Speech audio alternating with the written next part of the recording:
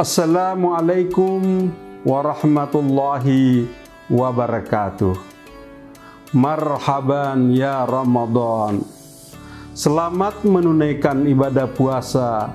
Semoga membentuk karakter dan pribadi yang muttaqin. Selaku Kepala Kantor Wilayah Kementerian Agama Provinsi Sulawesi Barat mengajak seluruh masyarakat untuk dapat mengikuti program Mutiara Hati Ramadan 1430 Hijriah 2022 Masehi. Kanwil Kemenak Provinsi Sulawesi Barat setiap hari di bulan Ramadan.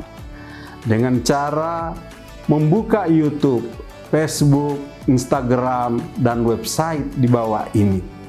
Demikian penyampaian ini Semoga kita keluar dari Ramadan sebagai pemenang. Taqabbalallahu minna wa minkum. Wassalamualaikum warahmatullahi wabarakatuh.